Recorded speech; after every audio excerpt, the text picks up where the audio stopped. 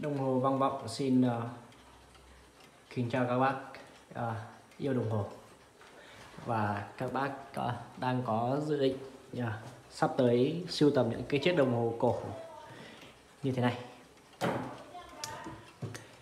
Trên màn hình của các bác đây thì em sẽ giới thiệu đến các bác một chiếc đồng hồ có thiết kế rất là độc lạ và thú vị ở đây. Đây là một chiếc Dung Han đến từ Đức và là một trong những cái phiên bản dung han rất là đặc biệt. Nó thể hiện ngay ra từ bên ngoài. Ví dụ như là đây là một cái mặt số nổi được làm từ gỗ, rất là quý giá. Và các cái bác mà siêu tầm thì biết được rằng là đây là một trong những cái bộ mặt cực kỳ giá trị. Và hầu hết mọi người đều muốn siêu tầm những cái đồ độc lạ như thế này. Vỏ thùng rất là đẹp. Vỏ thùng tay chạm trổ.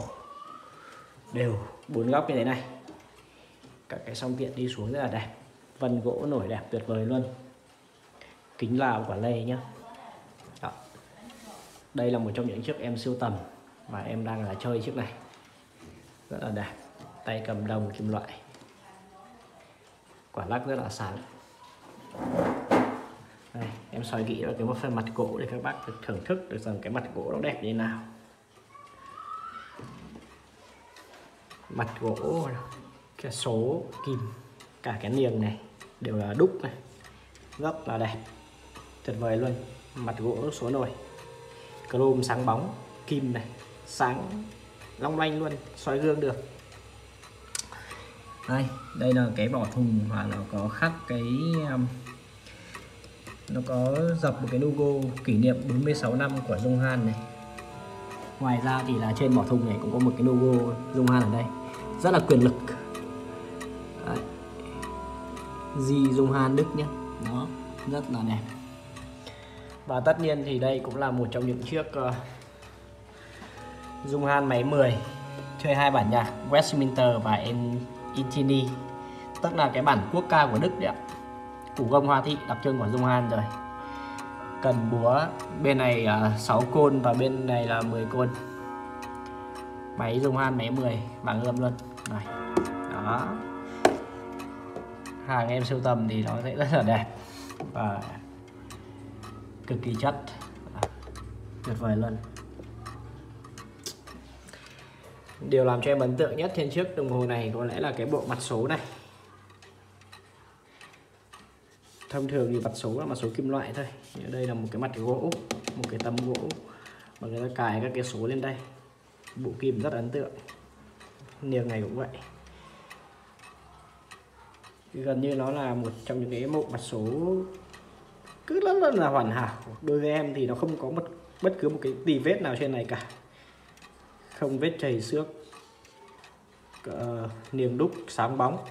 Cái niềng này thì gần như chẳng bao giờ nó có thể cũ đi được. Luôn luôn mới. Lúc nào cũng sẽ rất là mới. Đó. đây là cái cần chuyển bài bản nhạc này và chiếc vỏ thùng này cũng là một trong những chiếc vỏ thùng rất đáng giá. Đây là có cái con Ugo ở đây như thế này. Bộ côn rất là dài, côn dùng hàn đức thì luôn luôn là như vậy. Chất âm thì cũng có thể là nói ngang tầm với Odo được. Em xin test một cái đoạn nhạc để các bác nghe thử này.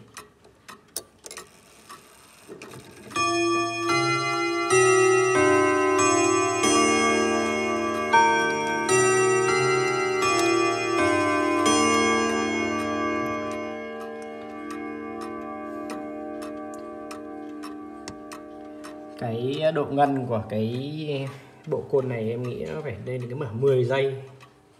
Nó còn chưa hết cái âm ngân đấy, tức là nó ngân ngân rất là tốt. Kim thì đẹp tuyệt vời. Điểm thêm 15 phút nữa đi.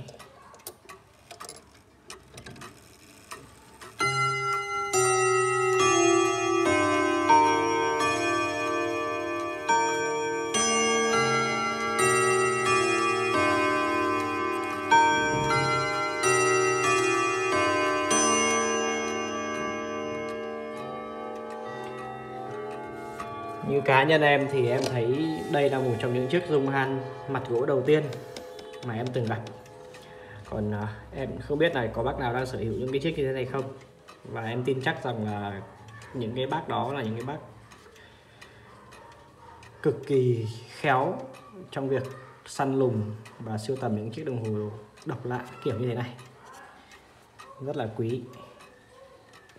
Cực kỳ ấn tượng với bộ mặt này đặc biệt là khi đóng cái nắp này lại và nhìn từ xa treo trên tường. Rất rất là đẹp. Đẹp ngỡ ngàng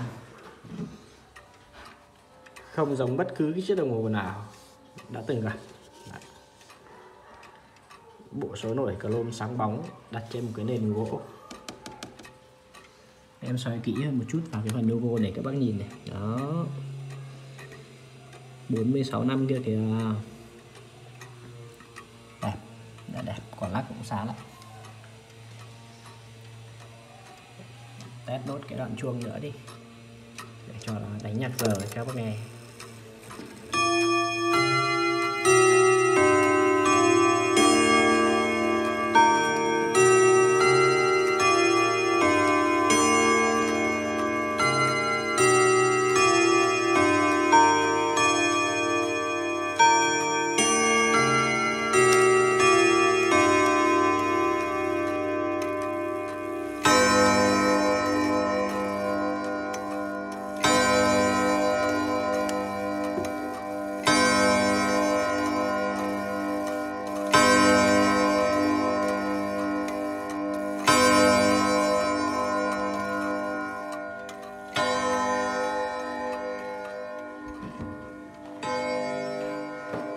Kính rào đã mắt.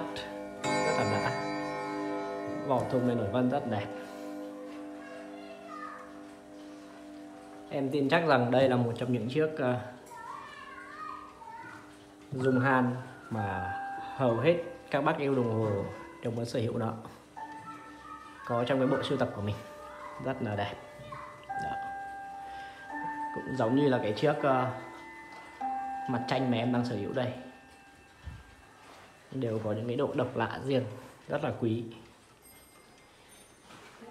Đó. cùng ngắm lại chiếc đồng hồ này Đây. Rồi, cảm ơn các bác đã theo dõi ờ, video này xin chào và hẹn gặp lại